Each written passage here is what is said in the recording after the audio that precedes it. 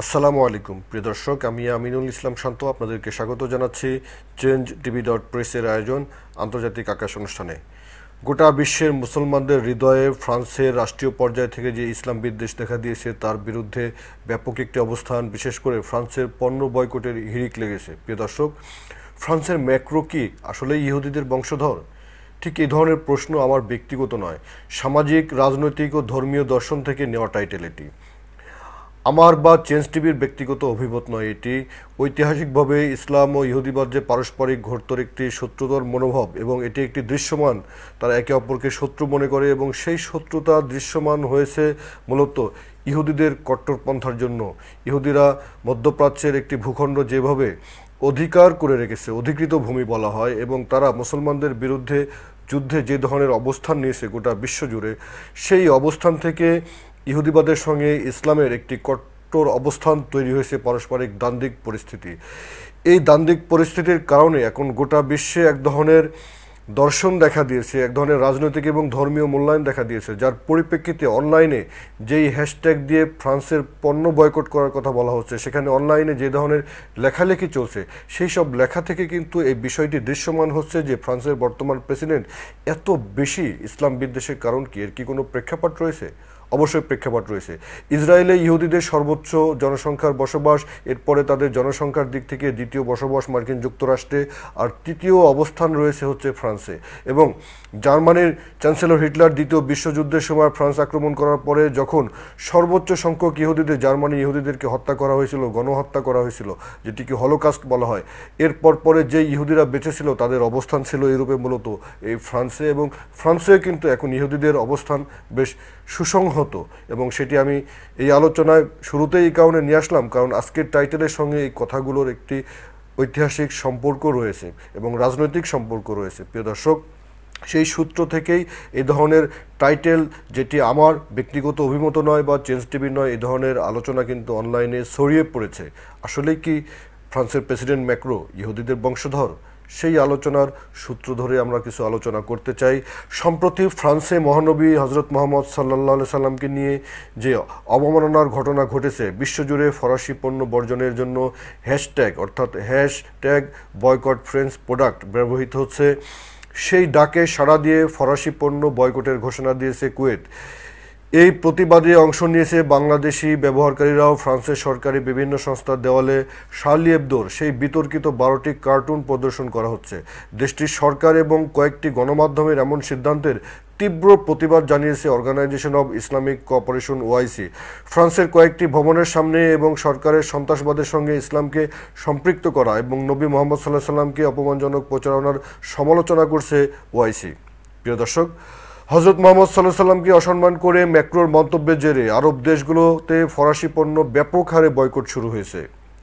Boycott ঠেকানোর আহ্বানও জানিয়েছে France, কিন্তু মুসলিম বিশ্বের হৃদয়ে ক্ষোভের আগুন দগদগ করছে।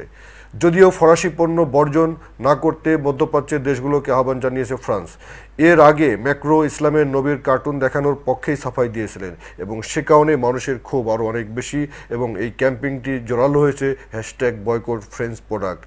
ফরাসি পণ্য সরিয়ে নেওয়া হয়েছে কুয়েত, কাতার, প্যালেস্টাইন, মিশর, আলজেরিয়া, জর্দান, সৌদি আরব এবং তুরস্কের বিভিন্ন সুপার শপ থেকে বিভিন্ন ট্রেড ইউনিয়ন এবং আমদানিকারকরাও বয়কট করেছেন ফ্রান্সের পণ্য। প্রিয় দর্শক, গত রোববার মিস্টার ম্যাক্রো এক টুইটে বলেন যে, আমরা কখনোই এটা বিসর্জন দেব না। অর্থাৎ নবী সাল্লাহ সাল্লামের যে কার্টুন দেখানো, এটা তারা বন্ধ করবে না।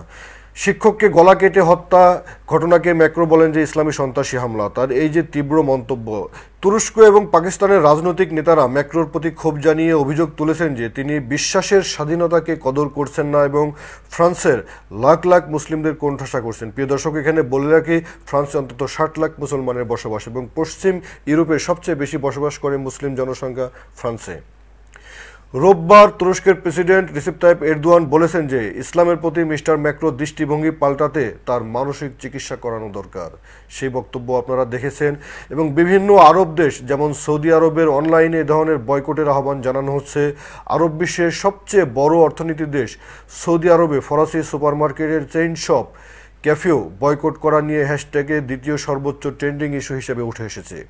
এদিকে লিবিয়া, গাজা এবং উত্তর সিরিয়ার তুরস্ক সমর্থিত বিভিন্ন গোষ্ঠীয় এলাকাগুলোতে ফরাসি বিরোধী ব্যাপক বিক্ষোভ অনুষ্ঠিত হয়েছে। প্রিয় দর্শক, চলতি মাসের শুরুর দিকে ম্যাক্রো ফ্রান্সে মুসলিম বিচ্ছিন্নতাবাদীদের রুখতে কঠোর আইন তৈরির পরিকল্পনার ঘোষণা দেন। তিনি কথায় কথায় মুসলমানদের সাথে বিচ্ছিন্নতাবাদ, সন্ত্রাসবাদ এই শব্দগুলো জুড়ে দিচ্ছেন।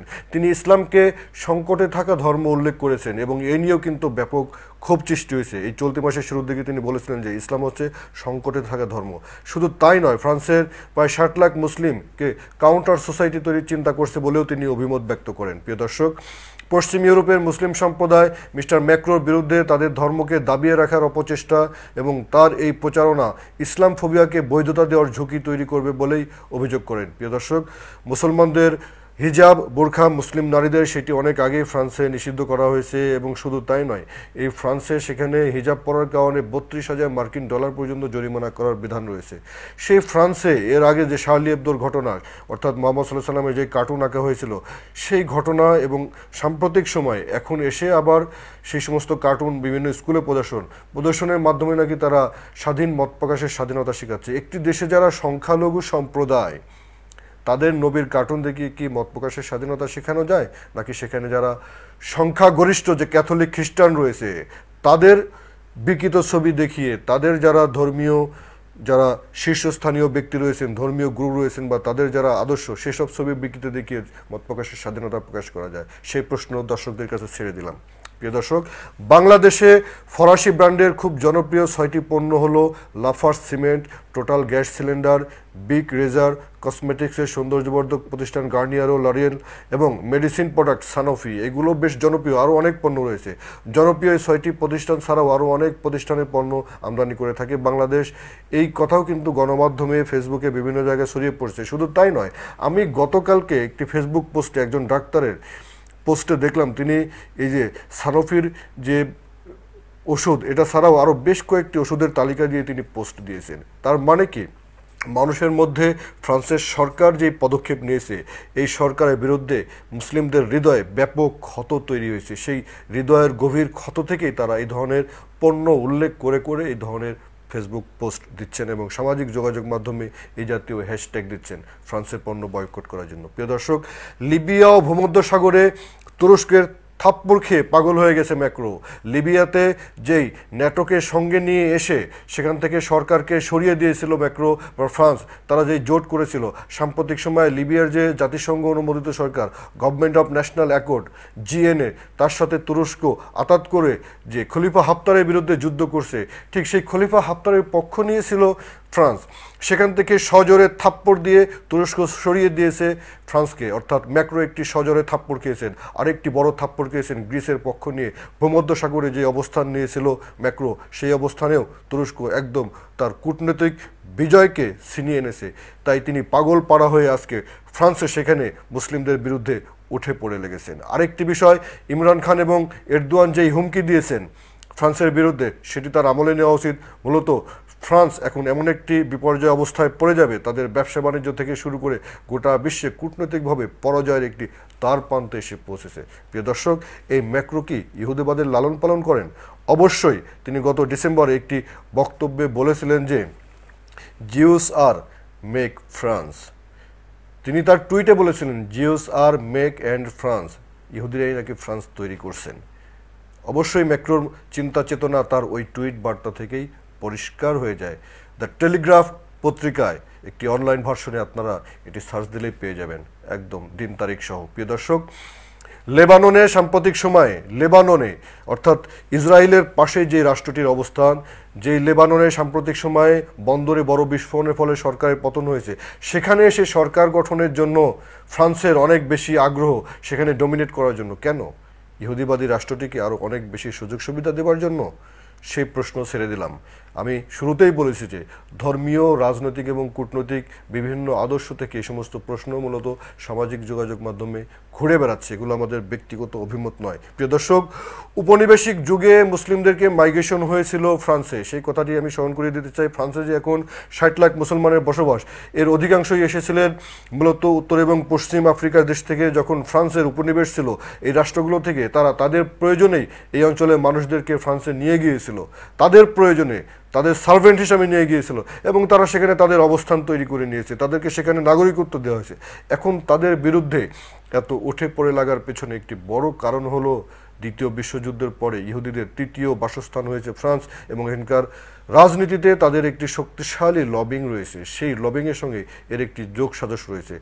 আমরা যদি আরেকটু গভীরের কথা বলি, দায়েশ বা আইএস চিষ্টি মধ্যপ্রাচ্যে আর কট্টরপন্থার কথা বলে মুসলমানদের সাথে ট্যাগ করে দেওয়া, এই প্রবণতাগুলো তৈরি করেছে মূলত ইহুদিবাদ এবং মার্কিন যুক্তরাষ্ট্র। তারা মূলত ইসলামের সাথে জঙ্গিবাদের ট্রাম্প ব্যবহার করা থেকে শুরু করে জঙ্গিবাদ তৈরির পিছনে তাদের যে ভূমিকা ছিল, এ কথা অনস্বীকার্য। কেউ চ্যালেঞ্জ নিতে পারবেন না, কারণ এই আইএস এবং এই সমস্ত আল কায়দা এই সমস্ত সৃষ্টির পিছনে মার্কিন যুক্তরাষ্ট্র এবং যুক্তরাষ্ট্রের নীতিকে যারা টলারেট করে থাকে, যারা লবিং করে থাকে, ফ্রান্সের নীতিকে যারা টলারেট করে থাকে, তারাই এই সমস্ত পন্থাগুলো তৈরি করেছে। এই দায়েশ সৃষ্টি করে সেখানে বিশৃঙ্খলা তৈরি করেছে মধ্যপ্রাচ্যের মুসলিম রাষ্ট্রগুলোর শক্তির একটি পন্থাকে তারা চেইনকে তারা ভেঙে দিয়েছে, সেখানে একটি স্থায়ী বিশৃঙ্খলা তৈরি করে দিয়েছে। সুতরাং এই কথাগুলো আমাদেরকে অনেক গভীরভাবে ভাবতে হবে। এগুলো সব একই সূত্রে গাথা এবং মূলত এখন ফ্রান্সে যে মুসলমানদের সাথে সন্ত্রাসবাদকে জুড়ে দেওয়া হচ্ছে বা যে সমস্ত বিচ্ছিন্ন ঘটনা ঘটানো হচ্ছে, এগুলো কি আসলেই মুসলিমরা ঘটাচ্ছে নাকি এর পিছনে অন্য কোনো কনস্পিরেসি কাজ করছে, অন্য কোনো বিদ্বেষ কাজ করছে, সেই বিষয়টি গভীরভাবে ভাবা দরকার। প্রিয় দর্শক যে সমস্ত পণ্য সারা বিশ্বে ফ্রান্সের পণ্য চলে, তার মধ্যে মুসলিম রাষ্ট্রগুলোতে, বিশেষ করে মধ্যপ্রাচ্যে, কিছু খাদ্যপণ্য রয়েছে এবং কিছু প্রসাধনী পণ্য রয়েছে, যেগুলো ব্যাপক হারে ব্যবহার হয়, এগুলো বয়কটের জন্য বেশ জোরালো দাবি উঠেছে। মুসলিম বিশ্বের দেশগুলোতে ভিসা বন্ধের দাবি উঠেছে, অর্থাৎ ফ্রান্সের নাগরিকদের, ফ্রান্সের যারা ব্যবসায়ী রয়েছেন, ব্যবসায়ীদের এবং ট্যুরিস্টদের এবং তাদের কূটনৈতিকদের ভিসা বন্ধের দাবি উঠেছে।